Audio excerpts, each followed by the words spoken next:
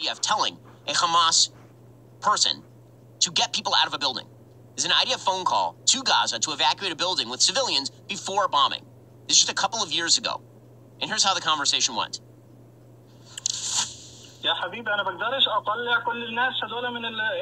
I can't get all the people out. I need at least two hours to get them out. And the Israeli says, listen, we're going to bomb the building.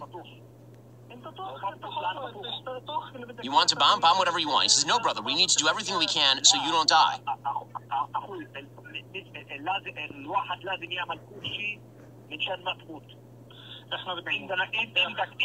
He says, We want to die. And the Jew says, But you have a responsibility for children's lives. And the Hamas operative says, If the children need to die, then they'll die. And the Jew says, God forbid, God forbid. What do you want to die? He says, This is how we reveal your cruelty.